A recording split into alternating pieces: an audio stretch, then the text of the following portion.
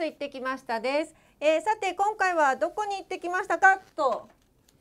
言いたいんですけど先週のアップルの発表会の内容について早速お伝えしていただければと思います。はい。はい。えー、と9月14日日本時間でいうと9月15日ですけれども午前2時からアップルのいわゆるあのスペシャルイベントってやつですね、これは開催されました。で iPhone13 をはじめとする新製品が発表されたんですけれども、えーまあ、今日今の段階ではまだ予約受付中の段階なので、はい。残念ながら実物はここにはございませんので、うん。詳細はいずれやりますが、はい。えー今日はちょっとその発表された新製品をですね駆け足ではいタタタタタっとご紹介します。はい。まずこれで iPhone でいくと思うでしょう。違うんですよ。一応あの発表順に習おうかなと思ってですね、はい。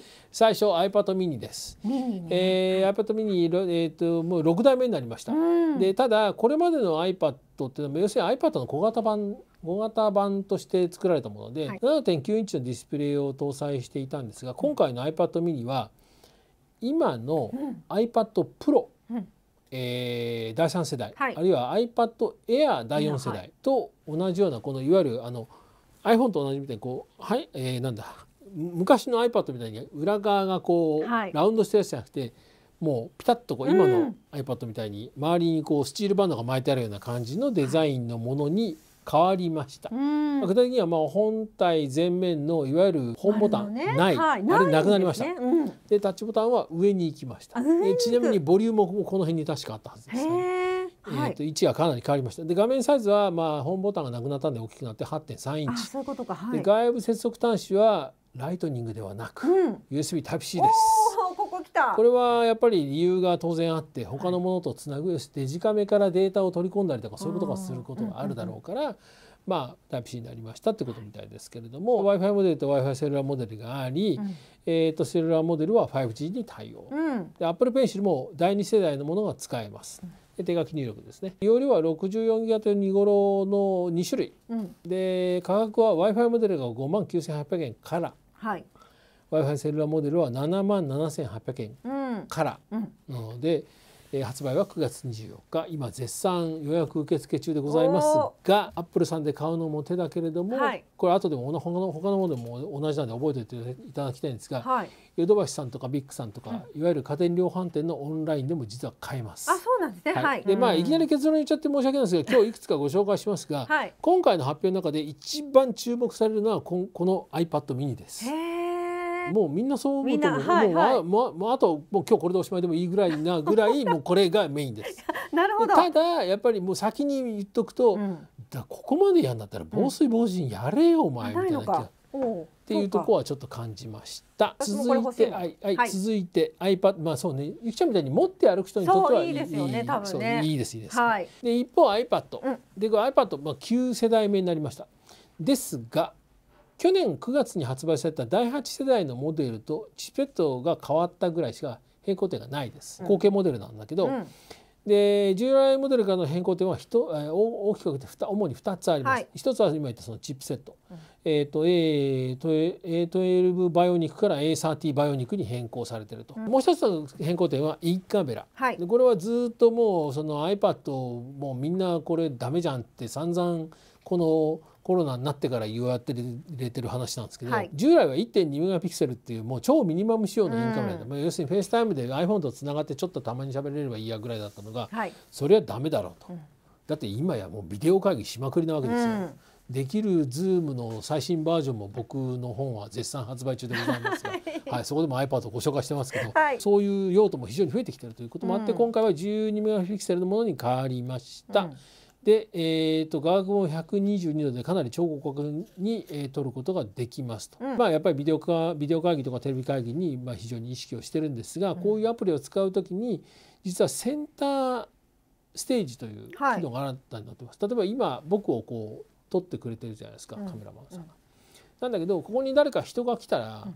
ちょっとカメラを少しギュッとこう、うん。引きにすることが実際のシーンではあると思うんですけど、うん。それを iPad のカメラが自動的にやってくれますと。ああ自動的にやってくれるね。はい。はい。でってい全体を映うしてくれる画角が変わりますと。うん。いうことができます。はい。ディスプレイの仕様は基本的には従来と同じ10.2インチ。ボディサイズも同じ。だから多分カバーとかは同じものが使えると思いますが、はい。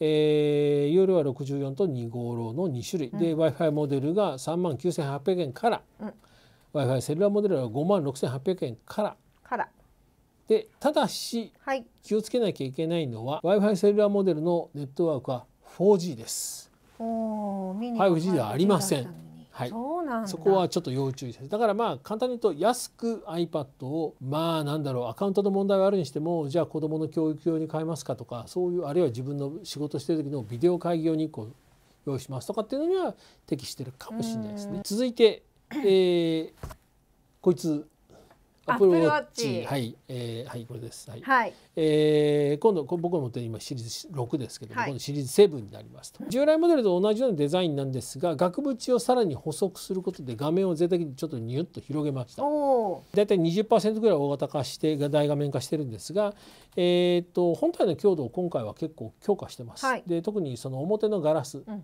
がなんかやっぱり結構ぶつけて時計でぶつけるんじゃないですか。うんよくゴーンとぶつけるんですけど僕も、はいアプローチになっても結構ぶつけてしまうんですけども、うん。でこれはいかんだろうということで従来モデルの2倍ぐらいの強度をはい。できるように、まあ、前面の厚みを50%ぐらいガラスをどうも増したようですと。うん。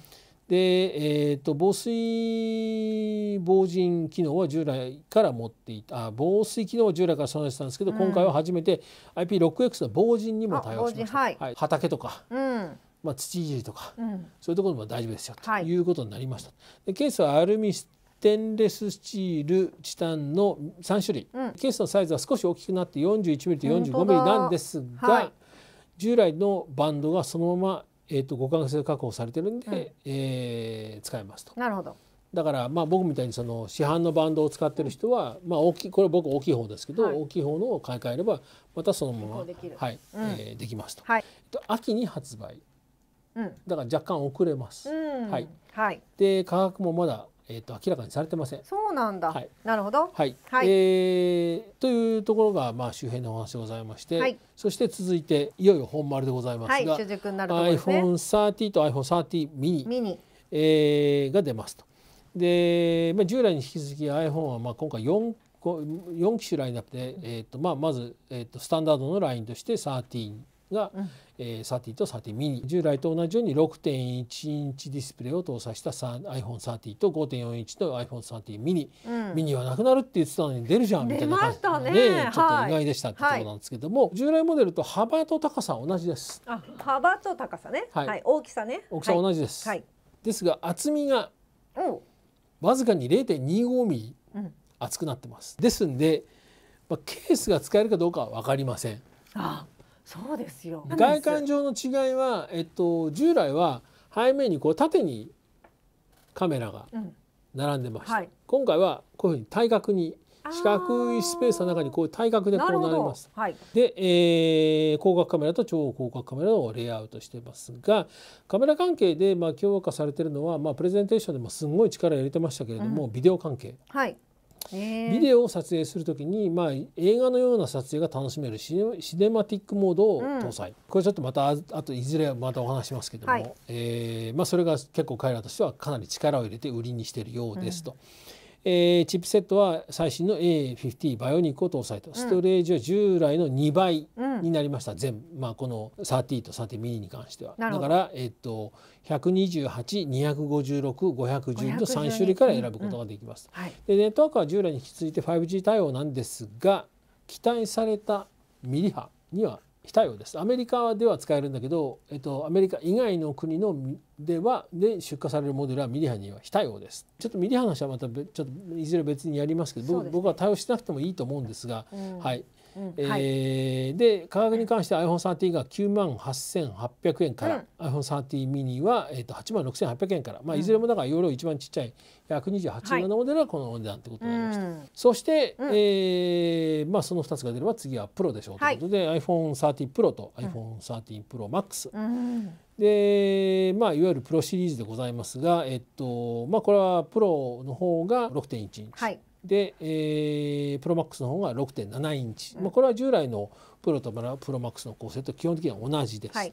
で新たに、えー、と 120Hz のアダプティブリフレッシュレートに対応と。表示するコンテンツとかはい。画面の状態に応じて、えー、とリフレッシュレート要するに画面の書き換える速度をまあ、変えると。だから省電力にも寄与するし、うん。滑らかな動きにも対応しますというところで今？みたいな。もうみんな他社はもう3万円の端末でもやってますよみたいな感じなんですけど。いやでもはい。よかった。はい。はい。えーボディは両機種ともに、えー、と従来モデルと、えー高さ幅は同じですが厚みは0.25増えてると、はい。重量は、えー、と大体10、えー、とプロで 16g 増し、うん。プロマックスでえ 12g 増しなので、そうなの？やはい。っぱ。結局増えるんやみたいな感じなんですけど。はい。はい、で外観はもう従来モデルとほとんど同じでカメラのところのデザインもまあほまあまあパッと見わかんないんですがカメラに関しては、うんえー、と中のイメージセンサーのサイズとかレンズとかは若干並行されてる特にイメージセンサーはちょっと大きくなったはずなので、これはまあプラス要素かなと。うん。でまあ売りとしてはスタンダードラインと同じでいわゆるシネマティックモード映画みたいにその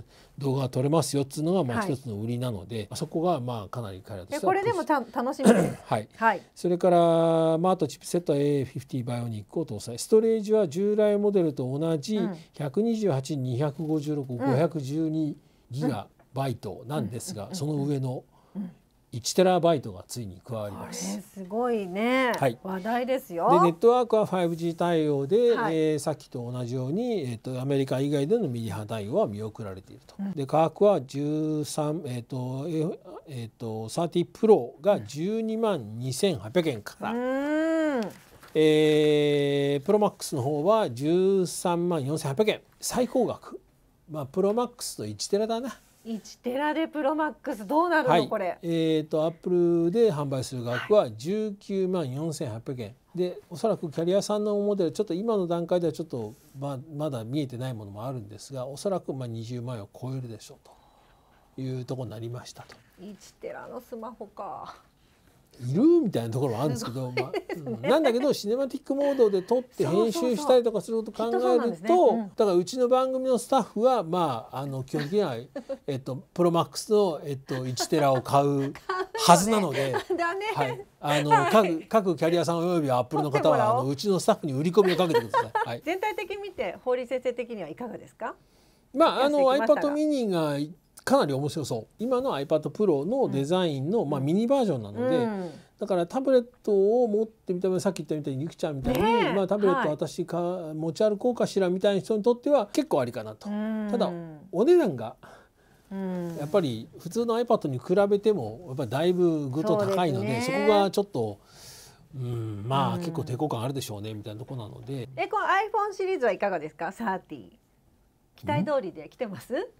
って感じですか？去年の段階でうん。僕は画面内指紋認証も外付けの指紋認証もなくて物足りないなって細部この番組でも相当厳しいことを言ったんですけれども、はっきり言って今年も同じというか。今回そうかないんですね。で1年経ったのに何も変わってないじゃん、しそれ全然進化足りてなくないですかみたいな感じでやっぱこれだけ一もうずっとそのマスク着用がねもう一応つけてくださいというふうに推奨されてる状況。そうはい。なのにでいやアップルウォッチがあればすぐ解除できますからっていうけど、アップルウォッチまで買わなきゃいけないんですかねっていうのも。もそれ以外対策が示してないのはやっぱりどうかと思います。でうん。他社は実際にはそのこういう今の生活様式新しい生活はい。スタイルっていう言い方をよくしますけれども、はい。それに合わせて例えば生体認証をうん。例えば指紋認証顔認証にしたりとかまあ例えばおうち時間が増えたからうん。こう充電器とかに置きっぱなしになっちゃうことがあるんで、うん。じゃあ充電をね急速充電を対応してその代わり充電あるところまで行ったら止めるみたいな感じにして、バッテリーをいたわるようにするとか、うん。まあ、あるいはそのまあまあ、こういう状況下なんで人によってはね収入が結構激減しちゃったとか、はい。仕事がみたいな話もあるんで、うんもうじゃあもうとにかくお安くしましょうということで価格安い方向をやりましょうとかいろいろ結構工夫してるんだけどここの価格もそうねちょっとどうにもならないものでしょうか。そう20万円かみたいなところもあってですね。あでも iPhone 楽しみに番組でもいやっていきたいですよ。まあまあ、ななんですけど、はいまあちょっとまあ一応正直なところで言うとまああんまり焦らなくても大丈夫いい あそうですか。焦らなくていいです。ねえ、アップルウォッチもまだ詳細出てないんで、出たらまたお伝えしましょう。値段？値段？ですよ値段？そうですね値段です。金額やっぱり厳しいと思いますね。はい。はいいやでもあの貴重な情報お伝えいただいてありがとうございます。はい、またあの突っ込むところはあの改めて厳しく突っ込みたいと思いますいや番組で順番にお伝えしたいと思います。こう期待でございます。はい